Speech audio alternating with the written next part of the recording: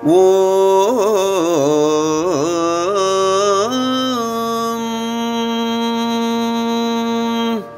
தில்லைவனம் காசி திருவாரூர் மாயூரம் முல்லைவனம் கூடல் முதுகுன்றம் தில்லைவனம் காசி திருவாரூர் மாயூரம் முல்லைவனம் கூடல் முதுகுன்றம் நெல்லை களர் காஞ்சி கழு குன்றமறை காடு அருணை களத்தி வாஞ்சிய மேல முத்தி வரும்.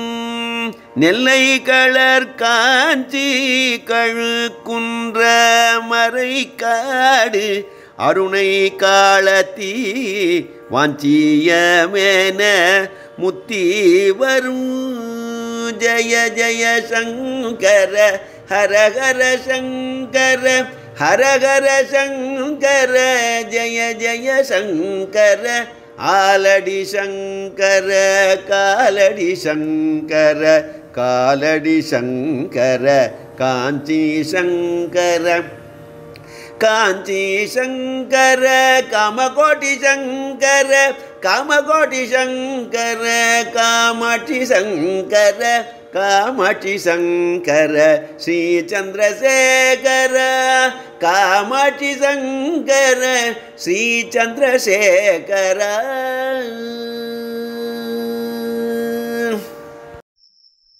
சென்ற காலத்திய ஸ்திரீகள் வாழ்க்கை கல்வியிலும் அறிவிலும் சிறந்து விளங்கினார்கள். அவர்கள் தும்பை விட்டு வாலை பிடிக்கவில்லை.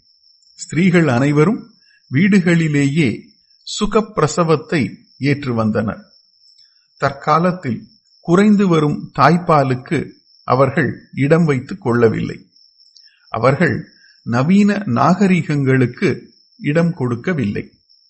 பிராச்சீன முறைகளை அவர்கள் வம்ச பரம்பரையாக கடைபிடித்து வந்ததால் இக்காலத்தில் சர்வ சாதாரணமாக வியாபித்து வரும் பயங்கர நோய்களை தடுத்து வந்தனர். அற்ப உபாதைகளுக்கு இன்டர்னல் அண்ட் எக்ஸ்டர்னல் நாம் பயத்தை ஏற்று டாக்டர்களை நாடுகிறோமே. அத்தகையவைகள் அக்காலத்தில் தாமாகவே குணமாகிவிடும். அக்காலத்தியவர்களின் ரத்தம் சுத்தமாக இயங்கிற்று. இத்தகைய ஆரோக்கியத்திற்கு தாய்மார்கள் வீட்டு வைத்தியர்களாக விளங்கியதே காரணமாகும். முடிவாக அவர்கள் குழந்தைகளை ஏற்ற முறையில் வளர்த்து யோக்கியர்களாக நிலவ வைத்து வந்தனர். தட்சிணாமூர்த்தி சமாரம்பாம் சங்கராச்சாரிய மத்தியமாம்.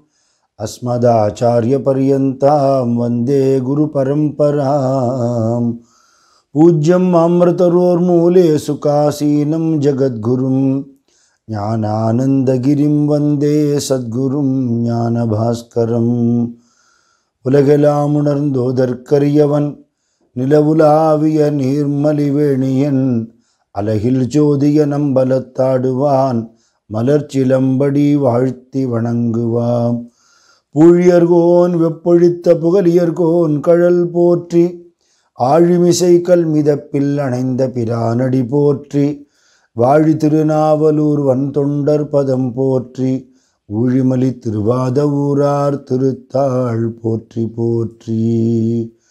நம பார்வதி பதையே ஹர ஹர மகாதேவ சத்குருநாத் மகாராஜ் கி ஜெய். தென்னாடுடைய சிவனே போற்றி எந்நாட்டவர்க்கும் இறைவா போற்றி. திருச்சிற்றம்பலம். முருகநாயனார் திருப்புகலூர் க்ஷேத்திரத்தில் எம்பெருமானுக்கு புஷ்ப கங்கிரியம் பண்ணிட்டுருக்கார் அப்படிங்கிறத நம்ம பார்த்துட்டுருக்கோம் புஷ்பங்கள் பகவானோட சிருஷ்டியில் ரொம்ப அற்புதமான விஷயம். ஸ்ரீ அரவிந்த ஆசிரமம் அன்னை சொல்கிறா புஷ்பங்கள்லாம் தேவதைகள்னு. அந்த தேவதைகள் பகவானோட சரணத்தை அடையிறதுக்காக புஷ்பங்களாக பிறக்கிறதாம். அந்த புஷ்பங்களை சுவாமி சரணத்தை நாம் அர்ப்பணம் பண்ணுறத அது நம்மளை வாழ்த்துறதுங்கிறான் அதனால் புஷ்பாஞ்சலி அவளோட சம்பிரதாயத்தை ரொம்ப முக்கியமானதாக இருக்குது நம்மளை மாதிரி அர்ச்சனையும் மாலை கட்டி போடுறதுங்கிறாப்புல இல்லாமல் தனித்தனி கிண்ணங்களில் ஜலத்தை வச்சு அந்த புஷ்பத்தை அப்படியே நிறச்சி அரவிந்த மகரிஷியை அன்னை எதிர்க்க வைப்பாள் அது அவளோட ஒரு வழிபாடு. வாஸ்தவத்திலே நமக்கும் பகவானுக்கும் தூது போகக்கூடியதாக ஒரு பாலமாகவே புஷ்பங்கள் இருக்குன்னு சொன்னால் அதில் ஆச்சரியமே இல்லை. புஷ்பத்தை சமர்ப்பணம் பண்ணி பிரார்த்தனை பண்ணிக்கிறத சுவாமி அதை உடனே நிறைவேற்றி வைக்கிறார். அதோடைய நிறமும் அதோட மென்மையான ஒரு தன்மையும் அதோடைய சுகந்தமும் ஜனங்களுக்கு அலௌகீகமான சிந்தனை கொடுக்கக்கூடிய ஒரு எண்ணத்தை அந்த புஷ்பங்கள் உண்டாக்குறது. அதனால் புஷ்ப கைங்கரியம் நந்தவனம் வச்சு பகவானுக்கு சேவை பண்ணுறதுங்கிறது ரொம்ப உயர்ந்ததாக சொல்லப்படுறது. சரித்திரங்களில் பார்த்தோம்னா பெரியாழ்வார் புஷ்ப கைங்கரியம் பண்ணினார் நந்தவனம் வச்சிருந்தார். அதோட பிரயோஜனம் என்ன அப்படின்னா அவரே ஒரு மகாத்மா. கருடாழ்வாரோட அவதாரம்னு சொல்கிறது உண்டு. என்னை ஆண்டாள்னு அவர் சொல்லும்படியாக அவர் ஆளும்படியான ஒரு பொண்ணு அவருக்கே கிடச்சிது இல்லையா? அதனால புஷ்ப கைங்கரியத்தோட பலன் என்னன்னா பகவத் கிருப்பையை சீக்கிரம் வாங்கி தந்துடும். ஆண்டாளும் அப்பாவை போலவே மாலை கட்டினா பூமாலையும் பாமாலையும் கட்டினான் அவ சரித்திரம் சொல்கிறது வியாகரபாத மகிழ்ச்சியை பற்றி நம்ம நேற்றுக்கே பார்த்தோம். அவரும் புஷ்ப கங்கீரத்தில் ரொம்ப நாட்டம் உள்ளவராக மரத்தில் ஏறி பறிக்கிறதுக்கு புலி பாதமே கட்டு வாங்கிட்டாருங்கிறத நம்ம பார்த்தோம். ஆனால் புஷ்ப கைங்கரியத்துக்கு ரொம்ப பிராதானியம் உண்டு.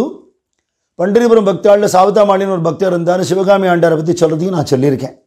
அந்த நந்தவனத்திலேயே இருந்து அந்த புஷ்பங்களோடையே பழகி மென்மையான சுபாவத்தோட வெளி உலகத்துக்கு தெரியாத பக்தி பண்ணிட்டு இருந்தவரை பாண்டுரங்கனே வந்து அவருக்கு காட்சி கொடுத்தார். அது மட்டும் இல்லை நாமதேவ் மகாராஜ் ஞானேஸ்வர் மகாராஜ் ரெண்டு பேரையும் அழைச்சிட்டு வந்து இந்த மூணு பக்தியாலையும் ஒன்று சேர்த்து ஆனந்தப்பட்டார்னு பக்த வஜயத்தில் இருக்குது அப்பர் சுவாமிகள் சொல்கிறார் வாழ்த்தவாயும் நினைக்க மடநெஞ்சும் தாழ்த்த சென்னியும் தந்த தலைவனை. இவர் இன்னும் ஒன்றும் பூ போட வேண்டாம்யா? உனக்கு பண்ணியிருக்கிறதுக்கு பதில் பண்ணுங்கிறார். வாய் கொடுத்துருக்கான் வெட்டி பேச்சு பேசுறதுக்கு இல்லை அவனை பற்றி பேசுறதுக்கு பாடுறதுக்கு. வாழ்த்தவாயும் நினைக்க மடனெஞ்சும் பகவானை தவிர எதையுமே நினைக்காதபடிக்கு மற்ற விஷயத்தில் நம்ம அறியாதவன் உலகம் சொல்லிட்டு போட்டுவேன். சாதுக்குள்ளெல்லாம் உலகம் நிந்தனை தான் பண்ணியிருக்கு இல்லையா? பைத்தியம் முட்டாள். பழக்க தெரியாதவன் அப்படி தான் சொல்லுவா. ஆனால் அவளுக்கு தான் அனுக்கிரகம் கிடைக்கிறது. லௌகீக விஷயத்தில் நல்ல பிரமாதமான புத்தி இருந்து என்ன பிரயோஜனம்? அதனால் அப்படி நினைக்கக்கூடிய உலகத்தை மறந்து தன்னை நினைக்கக்கூடிய மனசை பகவான் கொடுத்துருக்கார். தாழ்த்த சென்னையும் தந்த தலைவனை நமஸ்காரம் பண்ணுறதுக்கு ஒரு சிரசை கொடுத்துருக்காரே.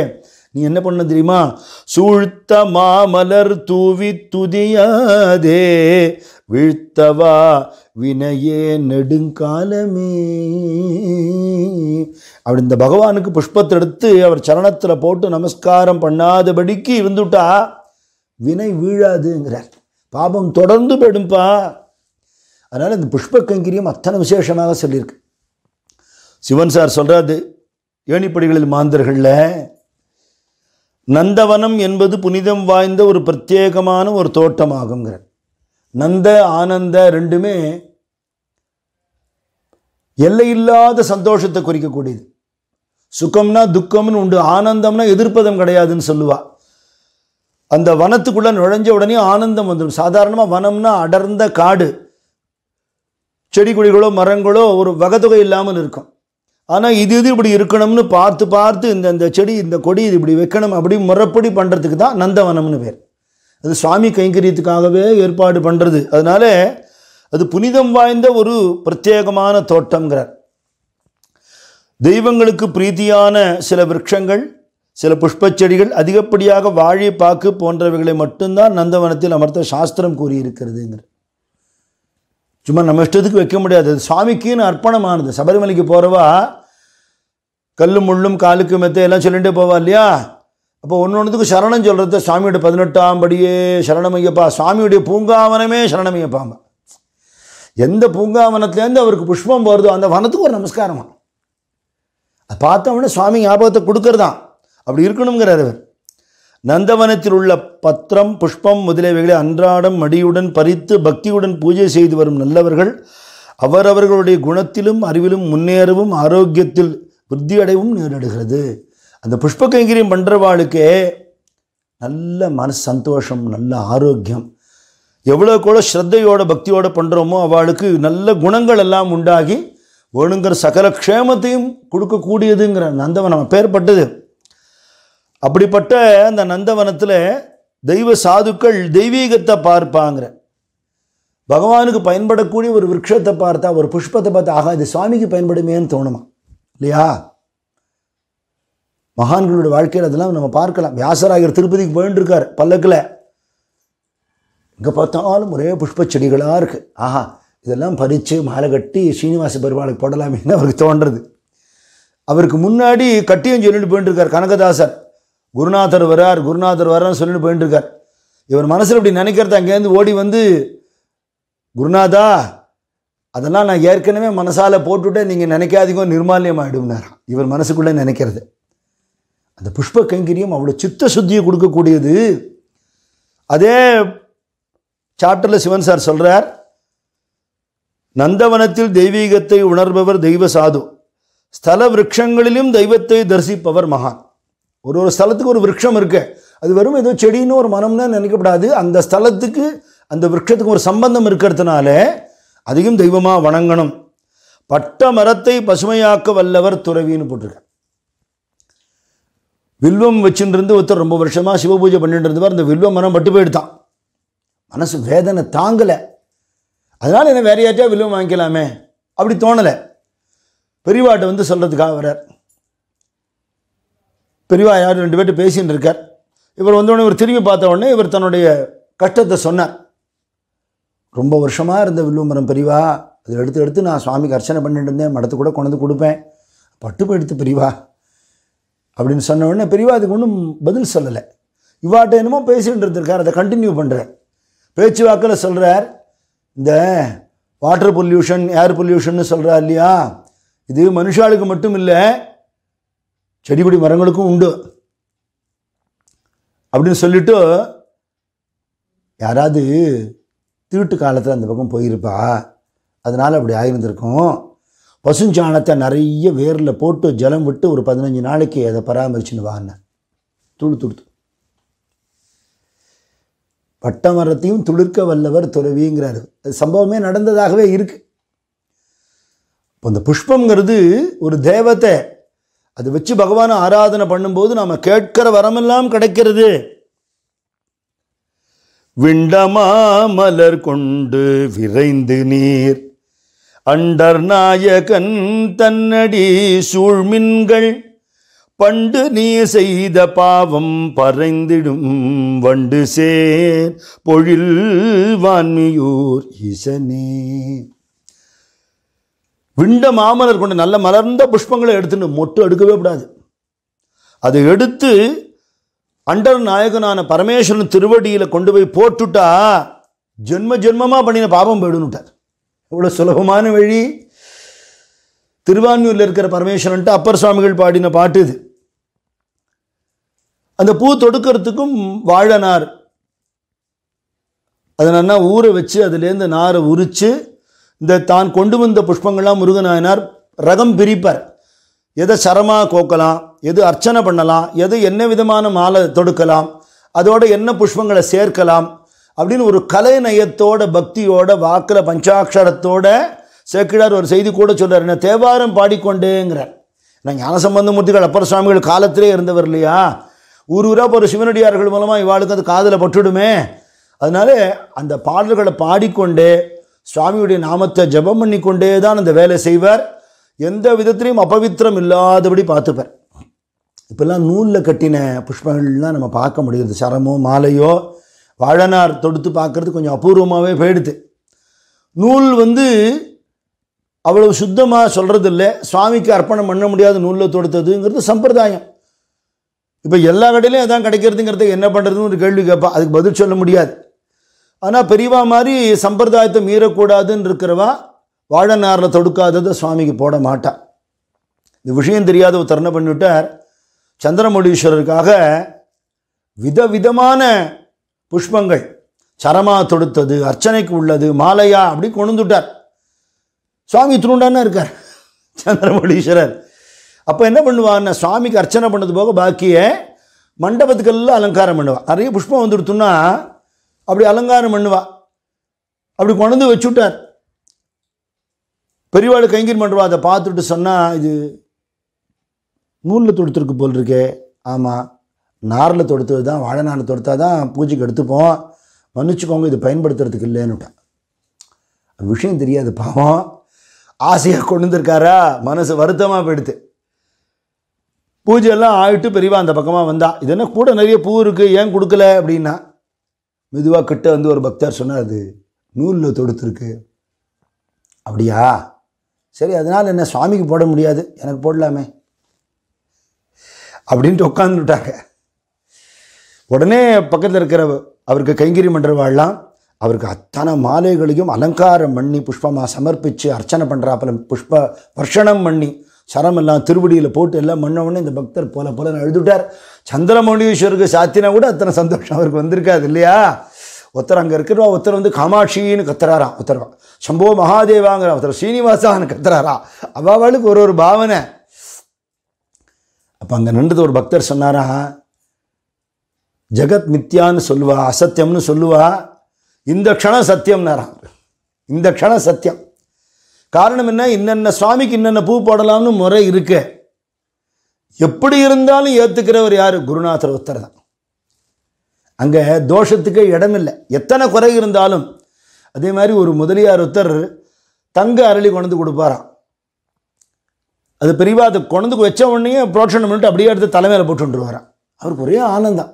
ஏன்னா அது பால் வரக்கூடிய பூவான் பால் வரக்கூடிய பூவை சாமிக்கு போடப்படாதுன்னு ஒரு சம்பிரதாயமாக ஆனால் அதை அவர்கிட்ட சொல்ல மாட்டார். அவளை பொறுத்தவரை சந்திரமொழீஸ்வரர் வேற பெரியவா வேறையா? அதை விட இன்னும் அதிகம் நான் சந்தோஷப்படுவா? நான் புஷ்ப கைங்கரியம் பண்ணியே பெரியவா கிருப்பைக்கு பாத்தனமானவா? ஒன்று ரெண்டு பேர் நினைவு வந்தது. இந்த சந்தர்ப்பம் வரும்பொழுது நமக்கெல்லாம் பிரசித்தமாக தெரிஞ்ச ஒரு சம்பவம். ஆந்திராவில் பெரியவா இருந்த பொழுது ஸ்ரீசைலத்துக்கிட்ட ஒரு கிராமத்தில் இருக்கா? அர்ச்சனைக்கு வில்வம் வேணும்னுட்டா கிராமம் பூரா அலசியாச்சு எங்கேயும் வில்வம் கிடைக்கல. வில்வம் வந்தால் தான் பூஜை ஆரம்பிக்க முடியும். என்ன பண்ணுறதுன்னு தெரியல ரொம்ப கவலைப்படுறா.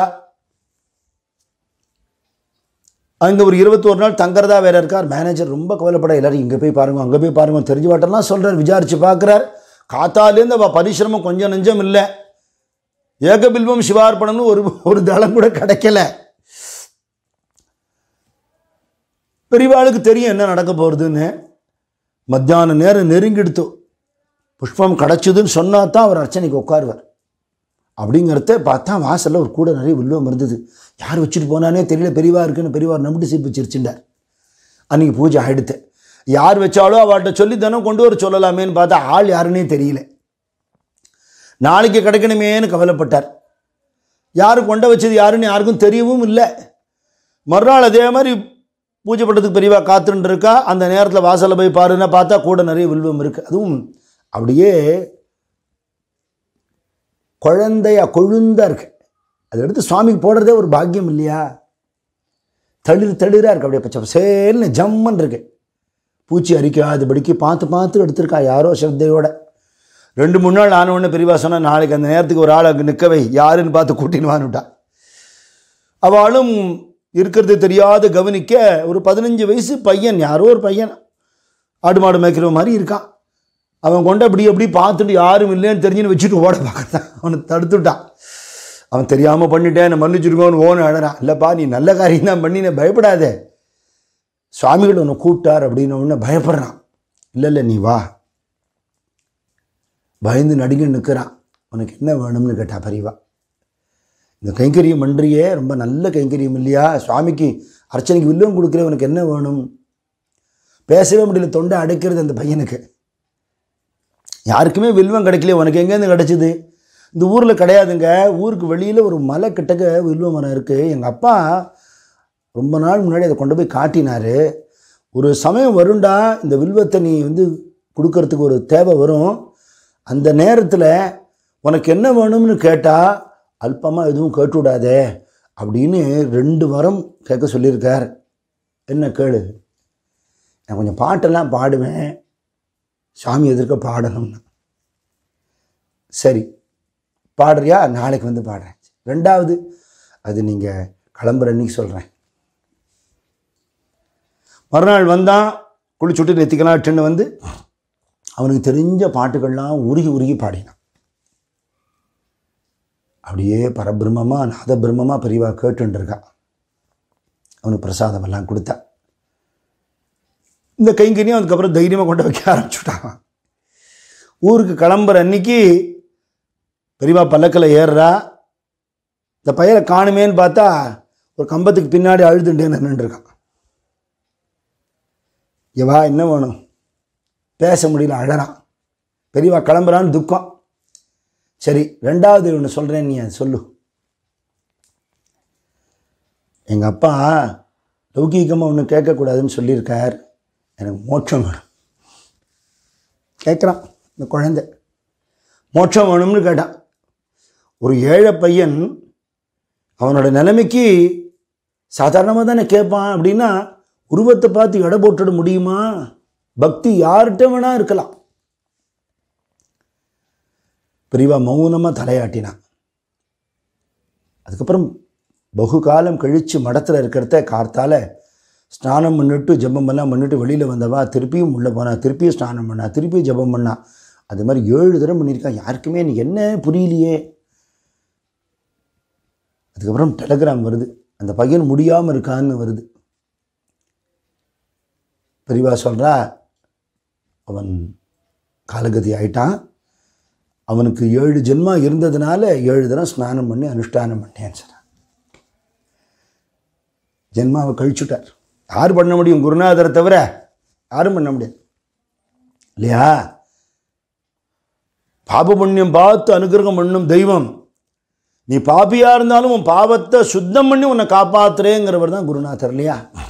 புஷ்பம் எப்பேற்பட்ட காரியம் பண்ணித்து முருகனாரார் புஷ்பத்தினால தான் தூது விடுறார் மாணிக்க வாச்சகர் சொல்கிறார் ஒரு பக்தனுடைய பாவம் எப்படி இருக்குமா? அந்த பூவை பார்த்த உடனே ஆஹா இன்னும் பறிக்கலை. சுத்தம் பண்ணலை மாலை கட்டலை பார்த்தோன்னே ஆஹா என் சுவாமிக்கு போட்டால் அப்படி இருக்கும்னு தோணுமா? அது பக்தனோட ஹிருதயமா? கொன்றை மதியமும் கூவிய மத்தமும் துன்றிய சென்னியரன்னே என்னும் துன்றிய சென்னியன் மத்தம் உன் மத்தமே இன்றெனக்கு ஆனவாறு அன்னே என்னும். கன்ற புஷ்பத்தை பார்த்தாலோ ஊமத்தம் பூவை பார்த்தா நான் உன்மத்தம் ஆயிடுறேங்கிறார் ஏன்னா இது என் சுவாமியோட பூ என் பரமேஸ்வரனோட பூ. கஷ்டப்படாத தெருவோரத்தை கிடைக்கிற பூவை போட்டால் கூட சந்தோஷப்படுறவர் இல்லையா? புண்ணியம் செய்வோருக்கு பூ உண்டு நீருண்டுன்னு திருமூலர் சொல்லியிருக்காரு. ஏன்னா புண்ணியம் பண்ணியிருக்கணும். பூவும் காத்து தோட்டத்தில் இருக்கும். அதை பறித்து சுவாமிகிட்ட போடணும்னு உனக்கு தோண்டத்துக்கு நீ புண்ணியம் பண்ணியிருக்கணும். இல்லையா? கைப்படைச்ச பிரயோஜனம் என்ன? அந்த புஷ்பம் நான் உனக்கு அனுகிரகத்தை வாங்கி தரேன்னு மலர்ந்து நிற்கிறது நீ என்னை எடுத்து போட்டுவிடு மற்றதெல்லாம் நான் பார்த்துக்கிறேன். உனக்காக சுவாமிகிட்ட வேண்டிக்கிறேன். இல்லையா? துளசி மேலே பாடுறாப்புல ஒரு கீர்த்தனம். ஹரிதாஸ் சுவாமிகளுடைய பஜனை. காட்டில் வாழும் துளசி அம்மா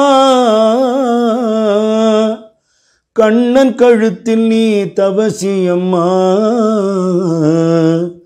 காதோடு காதாக கண்ணனிடம் என்னை பற்றி ஒரு வார்த்தை சொல்லி வையம்மா. துளசியம்மா ஒரு வார்த்தை சொல்லி வையம்மா. கழுத்தில் பகவான் மாலை போட்டுன்னு இருக்காருன்னா அந்த அந்த பையன்தான் எனக்காக என்ன உங்கள் சரணத்தில் போடணும்னு கட்டினா உங்கள் கழுத்தில் உங்கள் சரணத்தை நான் அலங்காரமாக இருக்கேன் அதுக்கு அவன் தான் காரணம் அவனுக்கு அனுகிரகம் பண்ணுவோன்னு சொல்லுவாளாம். கூட்டம் ஒன்று தூர கண்டேன். அது கோபியர் என்று கண்டு கொண்டேன். அந்த கூட்டத்தோடு கூட்டமாக நாட்டம் கொண்ட என்னை பற்றி ஒரு வார்த்தை சொல்லி வையம்மா. துளசி அம்மா ஒரு வார்த்தையை சொல்லி வையம் அந்த புஷ்பங்கள்கிட்ட நம்ம பிரார்த்தனை செலுத்தினா நமக்காக அது ரெக்கமெண்ட் பண்ணுமா? திருவளர் தாமரை சீர்வளர் காவிகள். ஈசர் தில்லை குருவளர் பூங்குமிழ் கொங்கு. பைங்காந்தள் கொண்டோங்கு தெய்வ மறுவளர் மாலை ஓர் வல்லியின் ஒல்கி. அனநடை வாய் துருவளர் காமன் தன் வென்றி கொடி போன்று ஒளிர்கின்றதே. ஒரு பக்தை பாடுறாப்புல எழுதுகிறார் மாணிக்க வாசகர் மாதுரிய பாவம். மன்மதன் வந்து புஷ்ப பானம் போடுவான்னு கேள்விப்பட்டிருக்கேன். அந்த புஷ்பங்கள்லாம் இங்கே இருக்குது சுவாமி மேலே போட்டால் கோச்சுன்றுவார். அதனால என் மேலே போட்டு விட்டான் நான் வந்து மையல் கொண்டு இந்த புஷ்பங்கள்லாம் படித்து என் சுவாமி திருவடிக்கு போடணுமே. இந்த புஷ்பங்கள் ஒரு புஷ்பமாக நான் ஆகி என்னை அர்ப்பணம் பண்ண மாட்டேனான்னு நினைக்கிறேன். பாவனை. நாமதேவர் ஒரு அபத்தை சொல்கிறார் உன் மனசு தான் செவ்வந்தி. உன் மனசு தான் மல்லி மோகரா. உன் மனசு தான் துளசி உன் மனசு தான் வில்வம். அதை பகவானுக்கு அர்ப்பணம் பண்ணு பக- நீ திருப்பி வரமாட்டேங்கிற. மறுஜென்மா கிடையாது. ஒரு அபங்கமே பாடுறார். மனுகே துளசிய புனி ரிஷிகேசி புனரபி ஜன்மாசி ஏனே நாகி. மனுகே மோகரார் புனீஸ்வரா புனரபி ஜன்மாசி ஏனே நாகி எப்பேற்பட்ட விஷயம் இல்லையா? ரொம்ப சுலபமான வழி. ஒரு பூவை பறித்து சுவாமி பாதத்தில் போட்டுட்டா பாரும் ஒரு நாமாவை சொல்லி சமஸ்த பாபங்களும் போய் ஜென்மா இல்லாமல் பண்ணிடுமா? அதை விட பெருசாக ஒன்று பண்ணும் அது. அதை தான் முருகநாயனாருக்கு பண்ணினார். இதுக்கு மேலே இனிமேல் அனுக்கிரகமே கிடையாது. அப்பேற்பட்ட ஒரு அனுக்கிரகம் அது பண்ணுமா? என்னவா? அரியவற்றுளெல்லாம் அரியதே பெரியாரை பேணி தமரா குழல். திருவள்ளுவர் சொல்கிறார் ஏற்கனவே ஔவையார் சொல்லிட்டா அரிது அரிது மானிடராய் பிறத்தல் அரிதுன்னா மனுஷ ஜென்மம் துர்லபம். அப்புறம் மானிடராய் பிறந்தாலும் கூன் குருடு செவிடு பேடி நீங்கு பிறத்தல் அரிது. இல்லையா? மனுஷனா பிறந்து உடம்புல ஏகப்பட்ட வியாதிகள் இருந்தால் உன்னால் பகவான் நினைக்க முடியாது. பேடு நீங்கி பிறந்த காலையும் ஞானமும் கல்வியும் நயத்தல் அரிது. இல்லையா? குத்தம் இல்லாமல் உடம்பு இருக்கே. புத்தி சரியில்லையே. ஞானம் இல்லையே. படிப்பு இல்லையே. ஞானம் வேறு கல்வி வேற. படித்தவன்லாம் ஞானியாக இருக்கணும் அவசியம் இல்லை. ஞானி படிச்சிருக்கணுங்கிற அவசியமும் இல்லை. அதனால் இது இது ரெண்டும் கிடைக்கிறது கஷ்டம். ஞானமும் கல்வியும் நயந்த காலை வானவர் நாடு வழி திறந்துடுமேனுட்டா அதை விட ஒன்று அரிதுங்கிறார் திருவள்ளுவர். என்ன அப்படின்னா சாதுக்களோட சங்கமம். இல்லையா? பெரியோரை தமரா குழல் கிடைக்கணுமே. சத்சங்கம் தான் பகவானோட அனுகிரகத்திலே மிகப்பெரிய அனுகிரகம். அந்த அனுகிரகம் தான் இவருக்கு கிடைச்சது. ஞானசம்பந்த மூர்த்திகள் திருச்செங்காட்டாங்குடி வந்திருந்தார். சிறுத்தொண்ட நாயனாருடைய கிரகத்தில் தங்கி அவருக்கு அனுகிரகம் பண்ணினார். சிவபக்தாளுக்கு எல்லாருக்கும் அப்படி ஒரு ஆனந்தம் அவர் அவ ஊருக்கு வந்துவிட்டார்னா காரணம் என்னன்னு கேட்டால் ஞானப்பால் உண்டவர் இல்லையா? சுவாமியாலேயே முத்து சிவிகை கொடுக்கப்பட்டவர் முத்து பந்தல் கொடுக்கப்பட்டவர். மூணு வயசு குழந்தை பாட்டு பாடுதான். இந்த காலத்தில் வரணும் சாதாரண குழந்தை பாடினாலே பத்து பேர் ஃபோட்டோ எடுத்து இங்கே எங்கே போட்டுவிடுவான் ஆ? அது எப்பேற்பட்ட பாட்டுகள்? யாரோ சொல்லி கொடுத்து எழுதின பாட்டு மனப்பாடம் பண்ணின பாட்டு இல்லையே? தானானா வருது? ஞானம் ஞான சம்பந்தம் இருக்குது அவருக்கு. திருப்பேரே சத்தியம். அப்படி பாடியிருக்காரே அப்படின்னா அந்த குழந்தையோட அழகும் அதோட ஞானமும் அது பாடுற பாட்டுகளோட இனிமையும் அப்படி சிவபக்தாளுடைய எங்கெல்லாம் அவள் இருக்காளோ எல்லா இடத்துலையும் அது பரவின்றிருக்கு அப்படின்னா இவருமே அந்த பாட்டெல்லாம் பாடுறார். அவர் திருச்செங்காட்டாங்குடியிலேருந்து பூம்புகலூர் வர ஓடோடி போய் வரவேற்கிறார் முருகநாயனார். என்ன பாக்கியம் இல்லையா? பக்தாளை பார்க்கறது பாக்கியம். பக்த சிரேஷ்டாளை பார்க்கறது மகாபாக்கியம் இல்லையா? ஞானசம்பந்த மூர்த்திகள் திருவடியில் விழுந்து நமஸ்காரம் பண்ணி உங்களை மாதிரி பெரியவாள்லாம் வந்தால் தங்கறதுக்காகவே திருமட்டம் கட்டி வச்சுருக்கேங்கிற. சந்தோஷமாக வந்து ஞானசம்பந்த மூர்த்திகள் அவரோட திருமடத்தில் தங்கினார். சில நாட்கள்ங்கிறார் ஒரு வேலை இல்லை. மகான்கள் வந்துட்டா அந்த நேரத்தை வீணாக்காதபடிக்கு அவளோட உட்கார்ந்து கொண்டு நல்ல விஷயங்களை அவள் சொல்லி நம்ம கேட்கணும் இல்லையா? அதானே பாக்கியம் சத்சங்க பாக்கியம். அது முருகனாயனார் நன்கு பயன்படுத்தி கொண்டார் ஏகாந்தமாக பூ கட்டுவார் சுவாமிக்கு போடுவார். அங்கே அக்னீஸ்வரர்னு தான் சுவாமி பூம்புகுலூரில் அங்கேயே உள்ளுக்குள்ளே இன்னொரு சன்னதி இருக்குது வர்த்தமானீஸ்வரர்னு ஒரு சன்னதி. அக்னி பகவான் பூஜை பண்ணினதுனால அக்னீஸ்வரர்னு பேர். வர்த்தமானீஸ்வரருக்கு என்ன அர்த்தமா? நிகழ்காலத்தில் அனுகிரகம் பண்ணக்கூடிய சுவாமின்னு அர்த்தமா. He is always present to grace you in the present அதனால் நிகழ்காலத்து சுவாமி வர்த்தமானீஸ்வரர். அக்னீஸ்வரர்கிட்ட கூட்டம் இருக்குமோ அங்கே ஆள் இருக்குமோ என்னமோ தெரியல. இவர் வர்த்தமானீஸ்வரர் தான் இவர் தனியாக பிடிச்சி வச்சுட்டார். முருகனார். அவருக்கு விதவிதமாக புஷ்பம் போடுவார். இன்றைக்கும் அந்த சன்னிதானத்தில் அவருடைய விக்கிரகம் இருக்கு. வர்த்தமானேஸ்வரர் சன்னிதானத்தில். அதனால் அந்த வர்த்தமானேஸ்வரோட பரம கருணையால் நிகழ்காலத்து ஈஸ்வரனாக யார் இருக்கா? மகான்கள் தான் இருக்கா. ஞானசம்பந்த மூர்த்திகளோட சத்சங்கத்தை அனுபவித்து கொண்டு தன் கைங்கரியத்தையும் விடாமல் பண்ணி கொண்டிருக்கார். பகவான் பார்த்தார். நீ வந்து காலங்கார்த்தால் ஏந்து அனுஷ்டானத்தை பண்ணி குறையில்லாமல் புஷ்பங்களை எடுத்துட்டு நிறைவாக மாலை கட்டி போட்டு உன் மனசை எனக்கு அர்ப்பணம் பண்ணுறியே உனக்கு நான் இன்னும் என்ன பண்ணணும் அப்படின்னு பகவான் நினைக்கிறாராம்.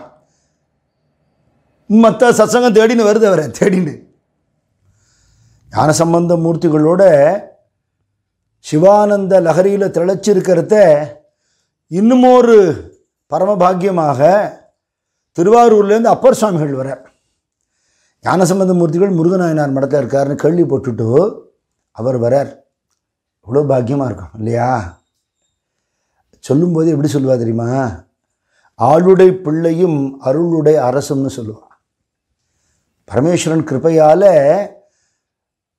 நாவுக்கு அரசர்னு பட்டம் கொடுக்கப்பட்டவர் இல்லையா? ஏன்னா அந்த நாக்கு பகவான் சம்பந்தம் இல்லாமல் வேறு எதுவும் பேசாது இல்லையா? அவர் பழுத்த பழம் சிவப்பழமாக உழவாரப்படையோட காஷாய வஸ்திரத்தோட அப்பர் சுவாமிகள் ஞானசம்பந்தரை தேடின்னு வரார் முருகநாயனார் மடத்துக்கு. முருகநாயனாருக்கு ரெட்டிப்பு சந்தோஷமாக போச்சு. முருகநாயனாரை பற்றி கேள்விப்பட்டார். சாதுக்கள் எப்பயுமே பார்த்தா எதிர்க்க இருக்கிறவாளுக்கு தான் நமஸ்காரம் பண்ணணும்னு துடியா துடிப்பாளே தவிர நம்மளில் யார் பெரியவாங்கிற சிந்தனை அவளுக்கு வராது. ஏன்னா அவளோட பாவனை எப்போவுமே நான் எளியவன் அப்படிங்கிற பாவனை தான். இருக்கிறதுலே சின்னவன் யார்? நான் தான். ராமானுஜர் திருமலையில் ஏறி போகிறார் ஆதிசேஷனே மலையாக இருக்கிறதுனால கால் வச்சு ஏற்படாதுன்னு காலை துணியில் கட்டிண்டு தவழ்ந்துட்டு போகிறார் அது மலையில் இருக்கக்கூடிய கைங்கரியம் பண்ணக்கூடிய திருமலை நம்பிகளுக்கு தெரிஞ்சு கொடுத்து அவர் வயசான பெரியவர் அவர் அங்கேருந்து வரார். வந்து இப்படி நீங்கள் உடம்ப சிரமப்படுத்தின்னு வரலாமா?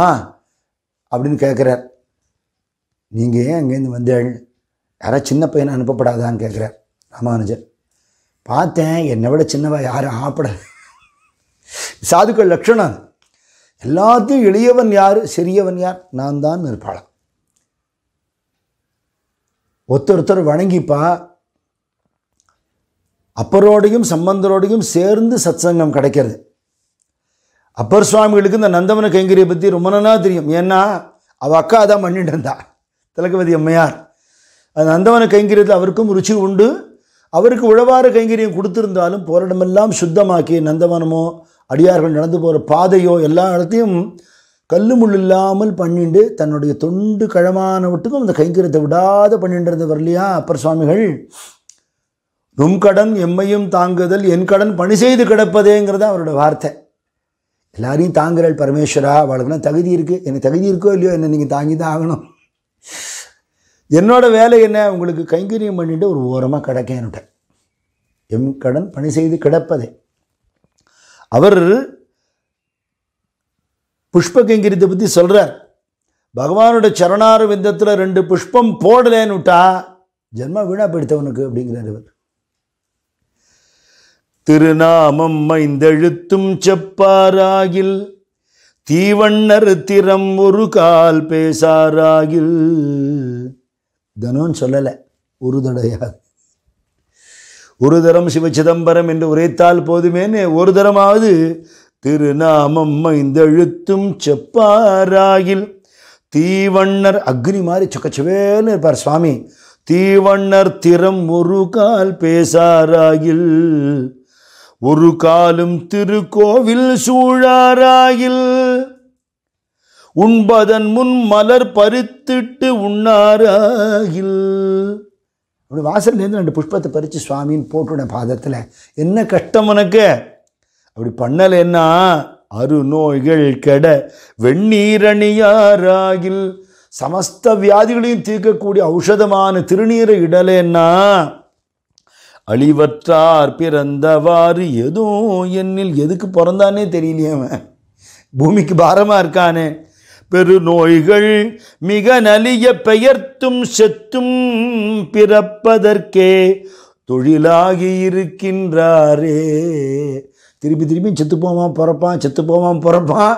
இதுக்கு விமோச்சனமே இல்லையா? இந்த சுழல்லேருந்து விடுபட முடியாது. விடுபடுறதுக்கு என்ன எளிமையான வழி? அஞ்செழுத்த சொல்லு பஞ்சாட்சரம் சொல்லு. பரமேஸ்வரனோட லீலையை ஒரு தரமாவது உணர்ந்து யார்ட்டையாவது பேசு. கோவிலில் ஒரு பிரதட்சணம் பண்ணு.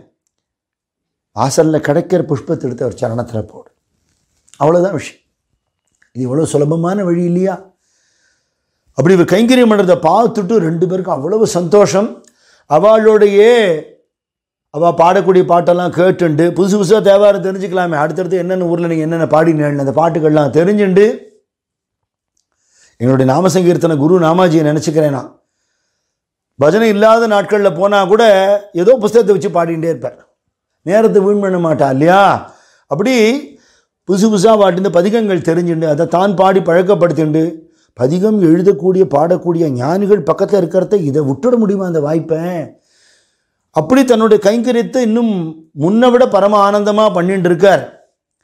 இதை பரமேஸ்வரன் ஏற்றுண்டாருங்கிறதுக்கு பிரமாணமே இந்த ரெண்டு மகாத்மாக்கள் வந்தது தான் அதுக்கு மேலே ஞானசம்பந்தர் தன்னோட பதிகத்திலேயே முருகநாயனார் பேர் எழுதுகிறாராம் என்ன எவ்வளோ அழகு இல்லையா அது? தொண்டர் தன் கயமூழ்கித் துணையலும் சாந்தமும் புகையும் கொண்டு கொண்டடி. பரவி குறிப்பறி முருகன் செய்கோலம். கண்டு கண்டு கண் குளிர களி பரந்தொளி மல்கு கள்ளர். வண்டு பண் செய்யும் புகழூர் வர்த்தமா நீச்சுரத்தாரே. அந்த தொண்டன் காலங்காத்தால ஸ்நானம் பண்ணி சாந்த குணத்தோடு அழகாக புஷ்பங்களெல்லாம் எடுத்துண்டு சுவாமிக்கு எப்படி பண்ணணுமோ அப்படி பார்த்து பார்த்து பண்ணக்கூடிய அந்த புஷ்ப கைங்கரியம் இருக்கே இதை பார்த்து பார்த்து கண்டு கண்டு கண் குளிரங்கிறார். அப்படி ஆனந்தமாக இருக்கே. ஈசன் ஏறமர் கடவுள் இன்னமுது எந்தயம் பெருமானே பூசுமாசில் வெண்ணீற்றார். பொலிவிடை பூம்புகலூரில் மூசுவண்டரை கொன்றை முருகன் முப்போதும் செய்முடிமேல். வாச மாமலருடையார் வர்த்தமானீச்சுரத்தாரே வர்த்தமானீஸ்வரருக்கு எப்பேற்பட்ட பாக்கியம் திரிகாலமும் எங்கள் முருகநாயனார் தொடுத்து போடுற புஷ்பங்களையே அணிஞ்சின்னு இருக்காருன்னு தன் பதிகத்திலேயே அந்த நாயன்மாரோட பேரை சேர்த்து விட்டார் அப்படின்னா அவர் மேலே அவருக்கு எவ்வளோ அன்பு இருந்திருக்கும். அப்புறம் என்னன்னா இன்னிலேருந்து நீங்கள் எனக்கு நண்பர்னு விட்டாராம் ஞான சம்பந்தமூர்த்தி. அப்பர் சுவாமிகளே கை கட்டி வாய் புதைச்சி பேசுவார் ஞான சம்பந்தர்கிட்ட. நீங்கள் எனக்கு நண்பர்னு விட்டார் பரமேஸ்வரன் சுந்தரமூர்த்தி சுவாமிகளுக்கு சொன்னது மாதிரி சேக்கிழார் சொல்கிறார் எப்பேற்பட்ட பாக்கியம் அது? கிடைச்சிடுமா? தள்ளும் முறைமை ஒழிந்திட இத்தகுதி ஒழுகும் மறையவர்தம் தெள்ளுமறைகள் முதலான ஞானம் செம்பொன் வளத்தில் அள்ளி அகிலம் ஈன்றளித்த அம்மை முளைப்பால் உண்ட பிள்ளையார்க்கு நண்பரு மாம்பெருமை உடையவராயினார் ஞானசம்பந்த மூர்த்திக்கு நண்பராகக்கூடிய பரமபாக்கியம் கிடைச்சது. இவா ரெண்டு பேரும் இங்கே இருக்கான்னு கேள்விப்பட்டுட்டோ? சிறுத்தொண்டனை நான் வந்துட்டார். திருச்செங்காட்டாங்குடியிலேருந்து திருநீலனுக்கு நாயனார் வந்துவிட்டார் அப்படி நாயன்மார்கள் அஞ்சு பேர் சேர்ந்துருக்கா அந்த இடத்துல சிவானந்த வெள்ளம் எப்படி பெரிய இருக்கும்னு சொல்ல முடியுமா? மக்களுக்கெல்லாம் எவ்வளோ ஒரு ஆனந்தம் கிடச்சிருக்கும். இப்படியே கைங்கரியத்தை தொடர்ந்து பண்ணிக்கொண்டே இருக்கிற தருணத்தில் ஞானசம்பந்த மூர்த்திகளுக்கு கல்யாணம் தீர்மானம் ஆகியிருக்கு அப்படிங்கிறது கேள்விப்பட்டார். மகான்களோட கல்யாணத்துக்கு போய் தரிசனம் பண்ணுறது பாக்கியம். அழைப்பு அனுப்பிச்சாலும் சரி அழு அனுப்பாட்டாலும் சரி இல்லையா?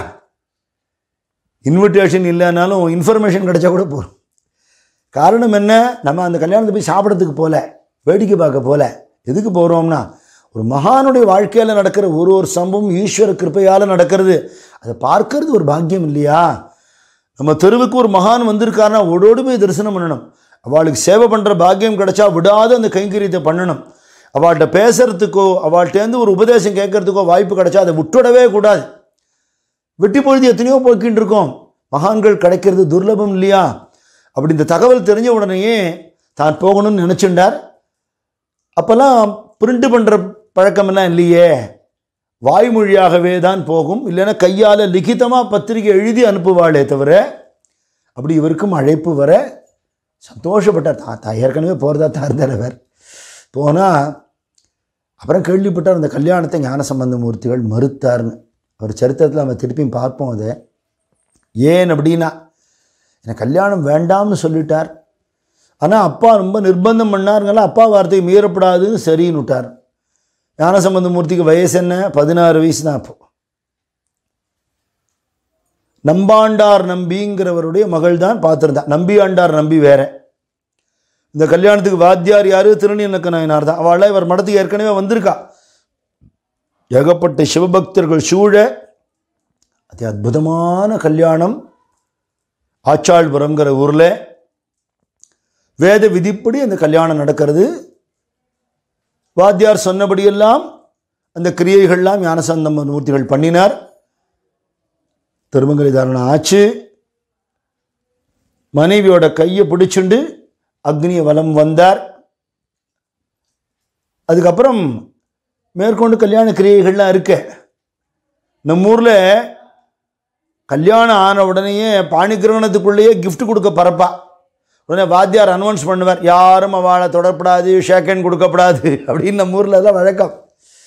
சீக்கிரம் கல்யாணம் ஆகிடுச்சா உடனே கிஃப்ட்டு கொடுத்துட்டு சட்னு சாப்பிட்டுட்டு சட்னு கிளம்பி போகணுமே நமக்கு வேலை இருக்கும் இல்லையா அப்படி தான் நம்மளாம் இருப்போம். அப்போல்லாம் கல்யாண பத்திரிகையிலே முன்னதாகவே வந்திருந்தும்பா.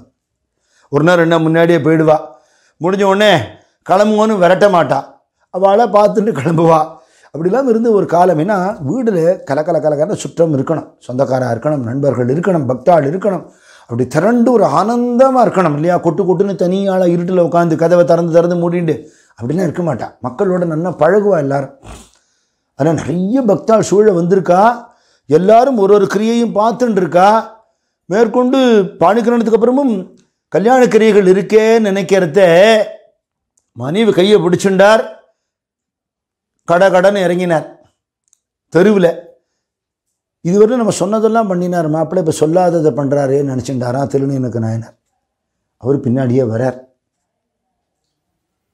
கோவிலுக்கு போனார். சரி கல்யாணம் ஆனவனு கோவிலுக்கு போகிறது வழக்கம் தானே? முடிஞ்சதுக்கப்புறம் போயிருக்கலாமே. எல்லாரும் வந்துட்டான் பின்னாடியே. பரமேஸ்வரனை தரிசனம் பண்ணினார்.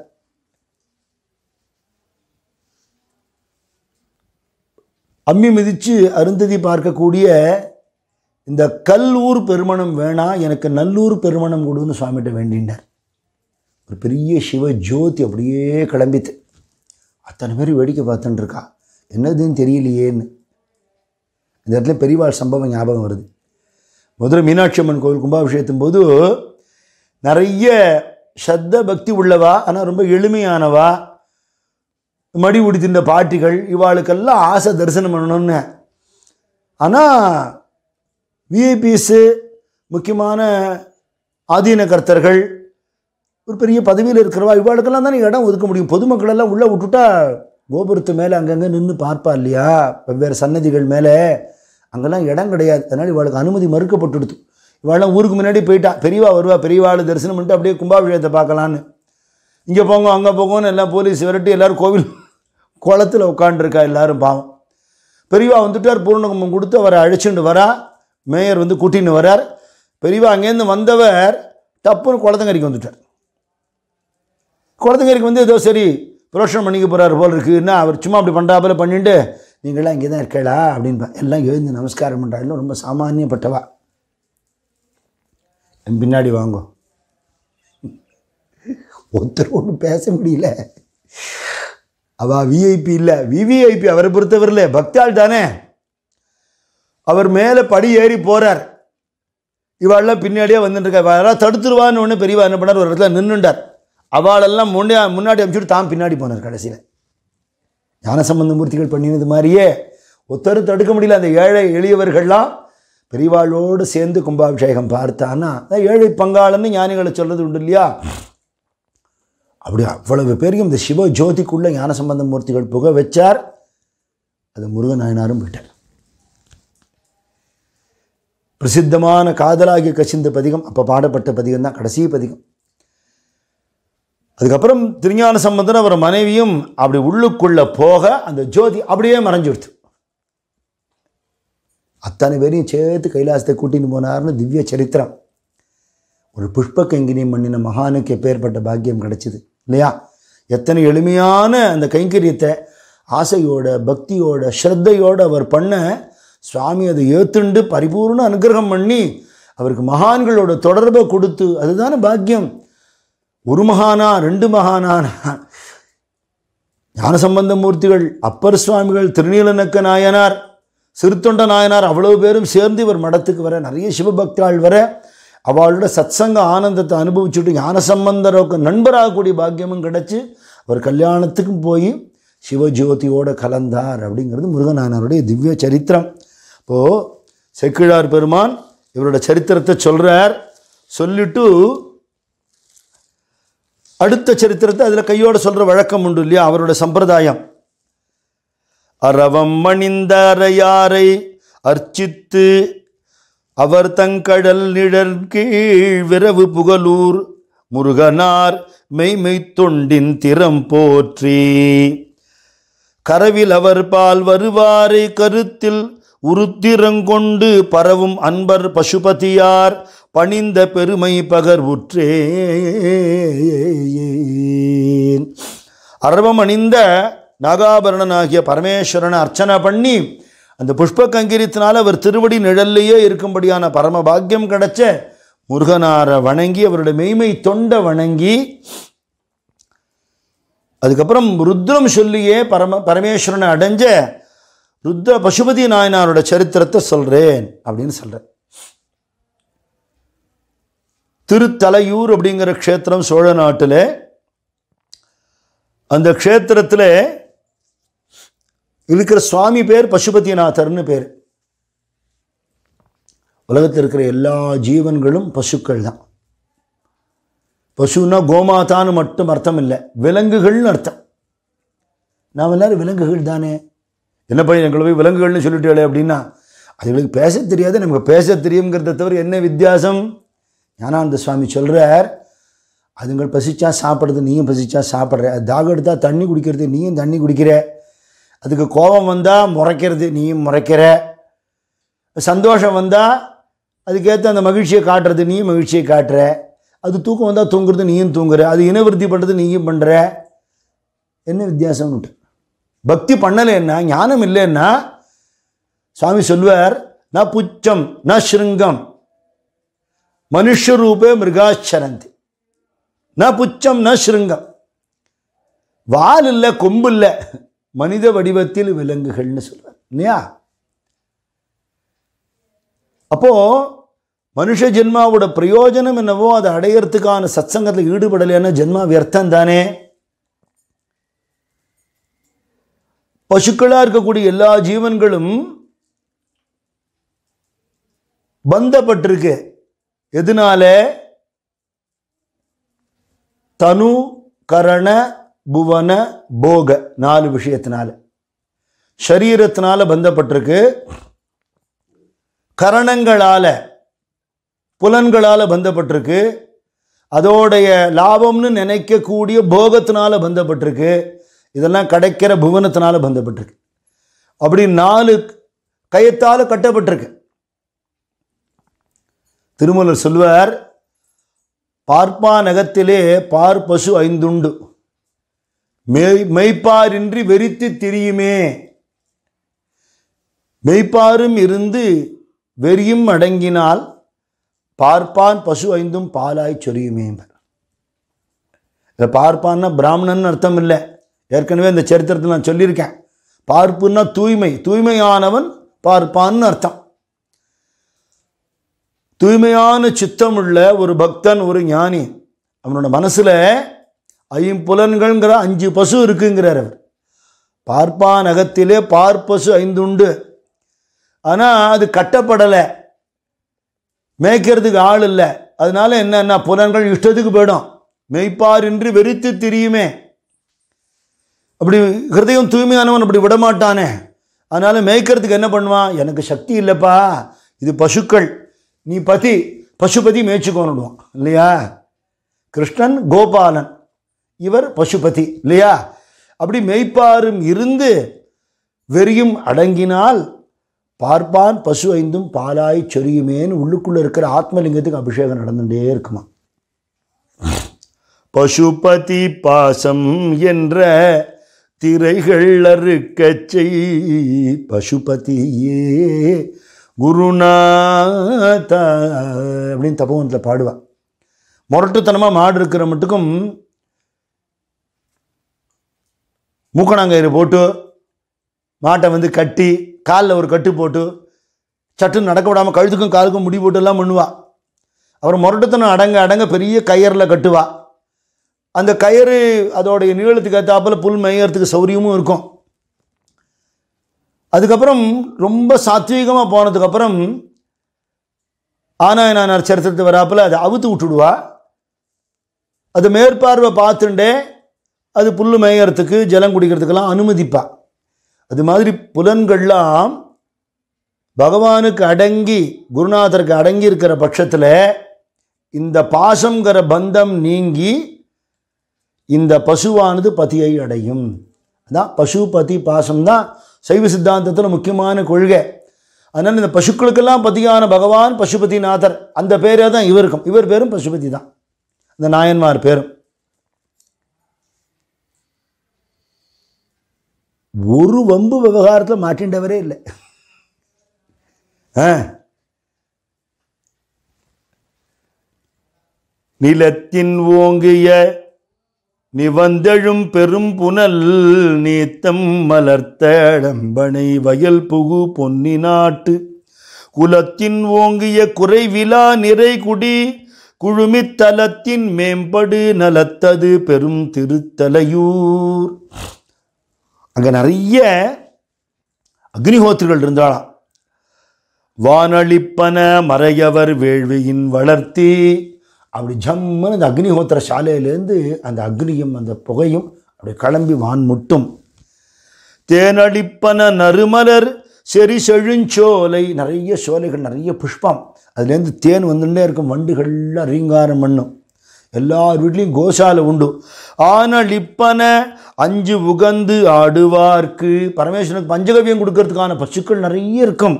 அவ்வூர் தானளிப்பன தர்மம் நீதியும் சால்பும் அத்தனை பேரும் தர்ம சிந்தனையோட நீதியோட நல்ல உயர்ந்த குணங்களோடு இருந்த சான்றோர்கள் நிறைந்த ஊராக அந்த ஊர் இருந்திருக்க. அங்கண்மா நகரத்தினுடைய அருமறை வாய்மை துங்க வேதியர் குலத்தினில் தோன்றிய தூயோர்.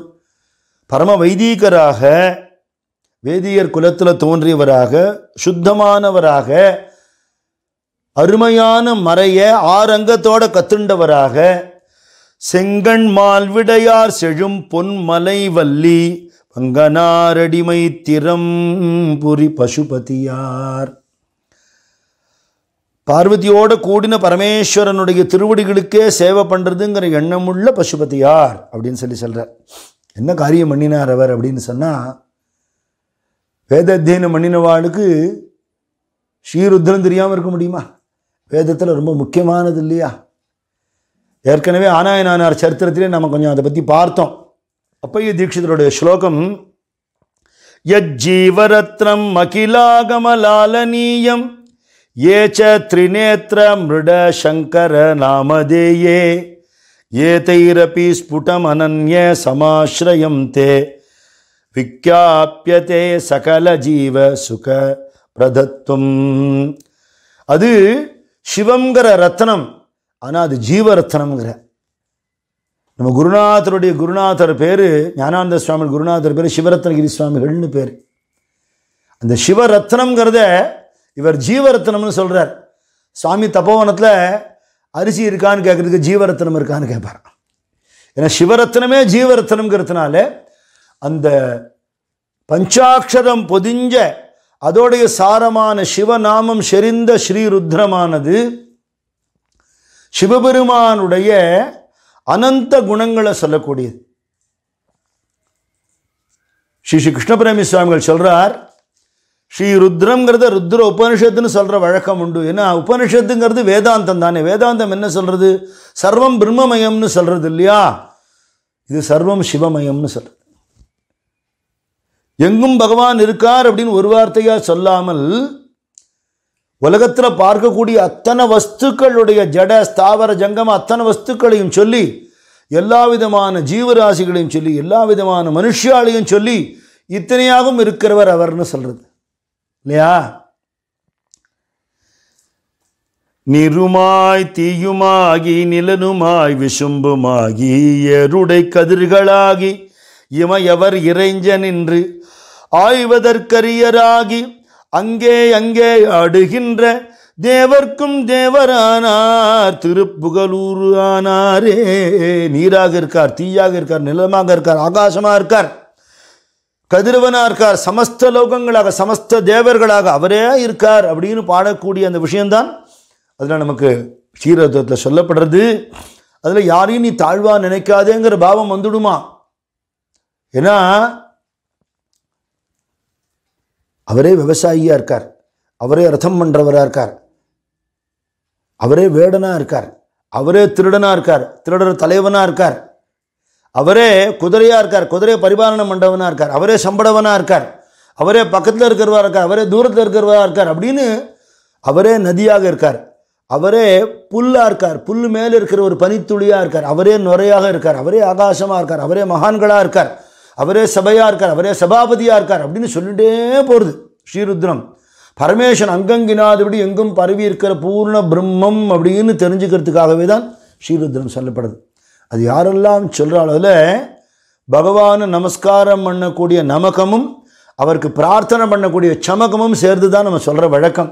வாழ்க்கையில் வேணுங்கிற சகல விதமான வளங்களையும் ஸ்ரீருத்ரம் கொடுக்கக்கூடியதுங்கிறதுனால அத்தனையும் வரமாகவே அதில் போட்டிருக்கான் சரி இது எல்லாரும் சொல்ல முடியுமான்னு ஒரு கேள்வி கேட்பாடே இது குலம் விஷயமே இல்லை.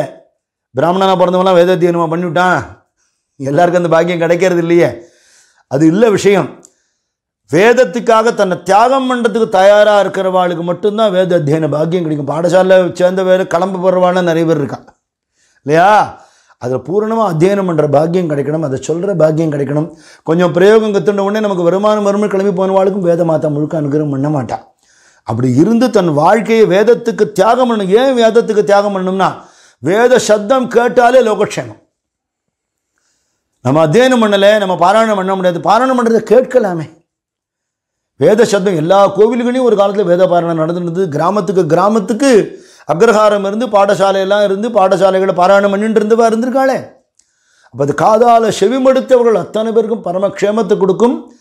சயின்டிஃபிக்காகவே அதுலேருந்து வரக்கூடிய வைப்ரேஷன் நம்மளெல்லாம் காப்பாற்றுங்கிறத நிரூபணமே பண்ணியிருக்கான் வேதபாரணம் நடக்கிறது வெறும் கண்ணு மூடி உட்காந்துருந்தா போகிறோம் அர்த்தம் தெரியணுமோன்னா? பெரியவாட்டே ஒருத்தர் போய் கேட்டால் அர்த்தம் தெரியாமல் மந்திரங்கள்லாம் சொல்லலாமான்னு? பெரியவா அதுக்கு சட்டுன்னு பதில் சொல்லலை.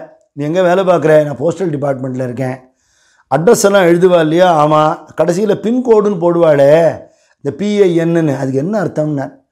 பின்னுன்னா பின்கோடு அப்படின்னா அது சரி. அதுக்கு என்ன அர்த்தம்? அது எல்லோரும் அப்படி தான் போடுறா.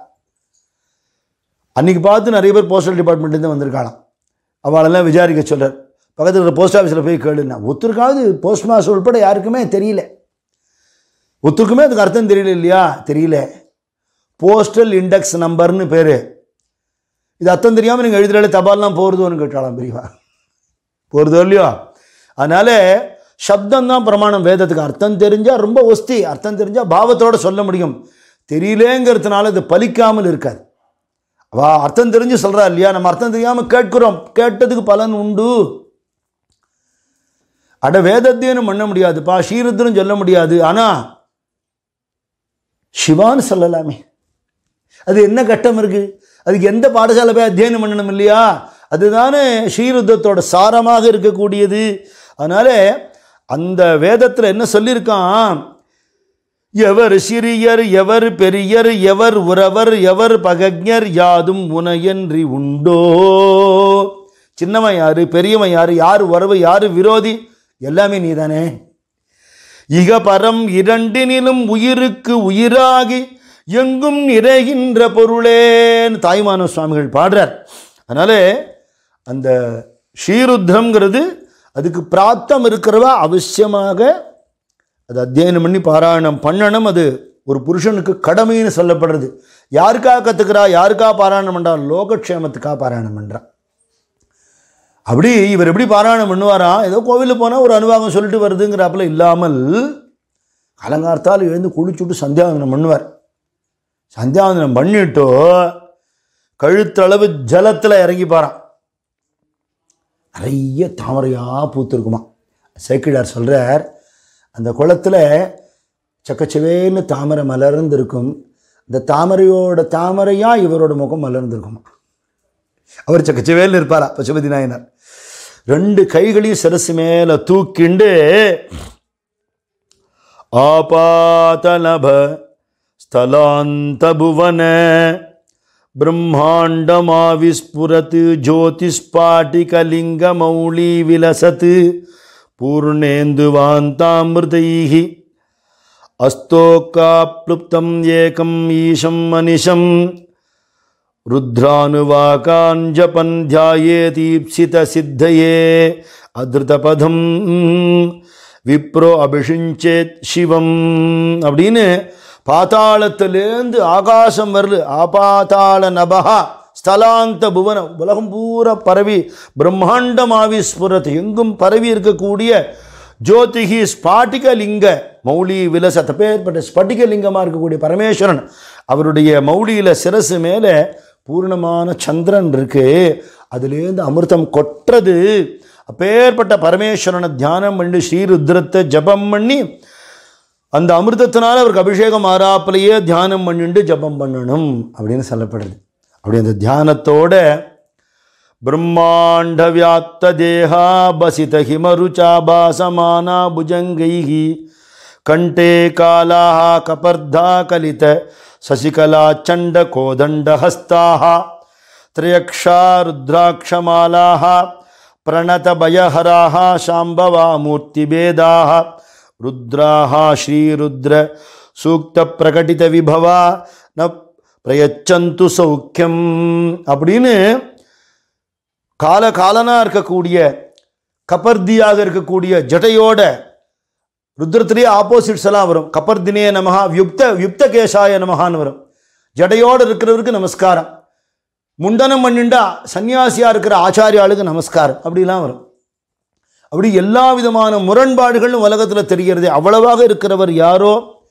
தேகமெல்லாம் திருநீற்று பூச்சோடு இருக்கக்கூடியவர் யாரோ நாகாபரணத்தோடு இருக்கிறவர் யாரோ முக்கண்ணோடு இருக்கிறவர் ருத்ராட்ச மாலையோடு இருக்கிறவர் யாரோ யாரெல்லாம் நமஸ்காரம் பண்ணாலோ அவ துன்பத்தை தீக்கிற பிரணத பயஹராகா அப்படிப்பட்டவர் யாரோ அந்த பரமேஸ்வரனை நான் தியானம் பண்ணுறேன் அப்படின்னு பிரார்த்தனை பண்ணி கொண்டு ருத்ரன் சொல்லுவார்.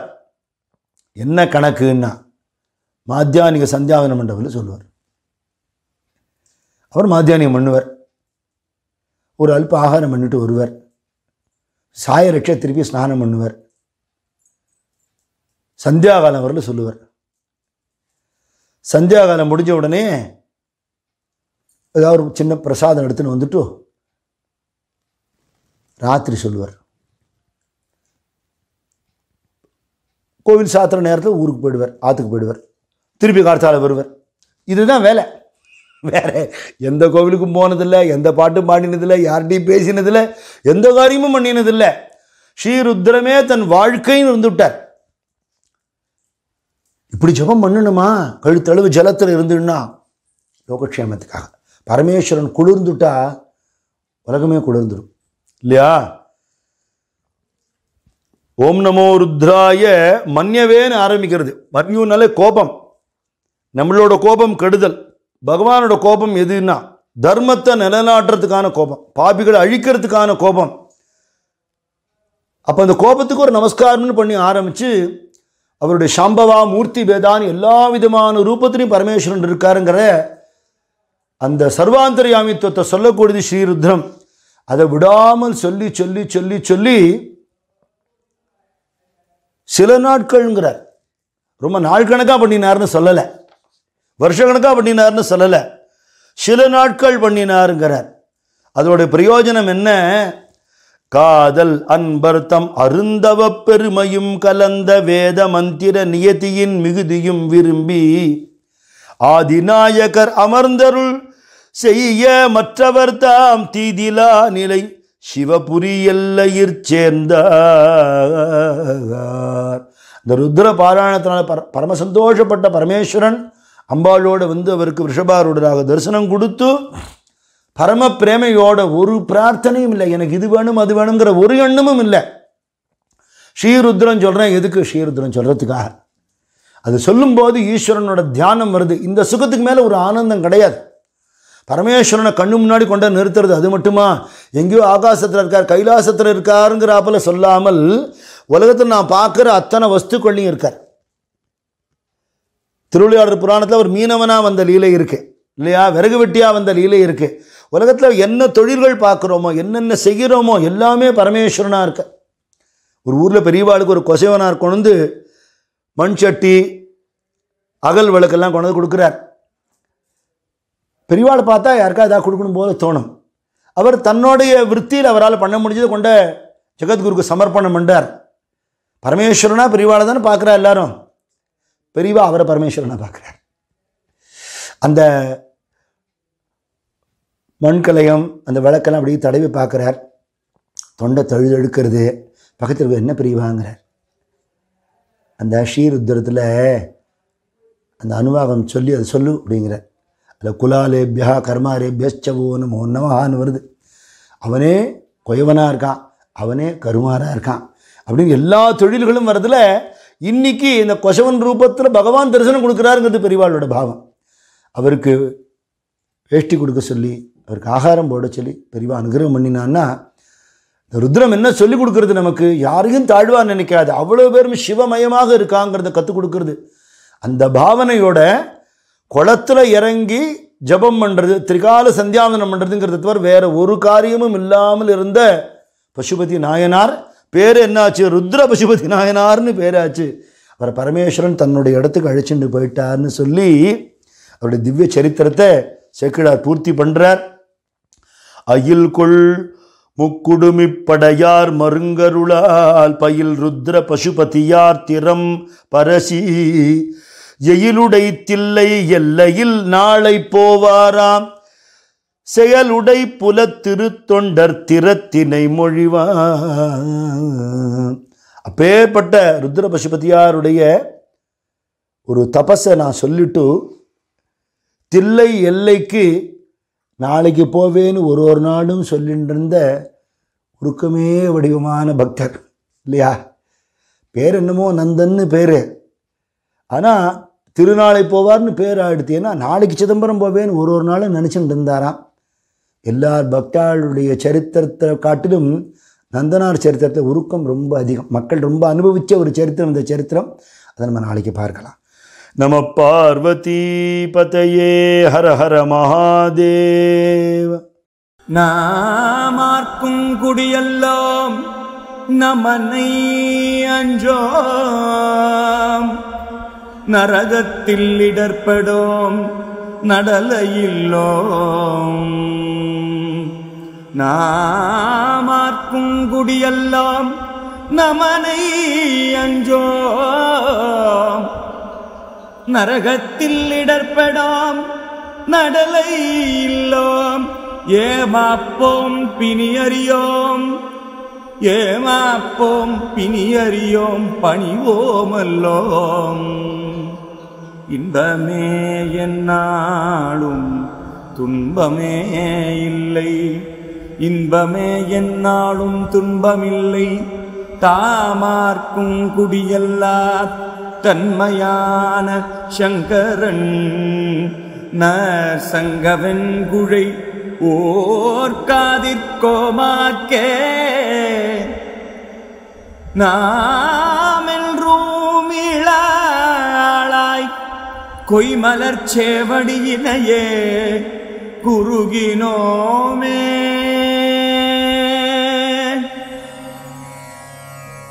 தென்னாடுடைய பெரியவா போற்றி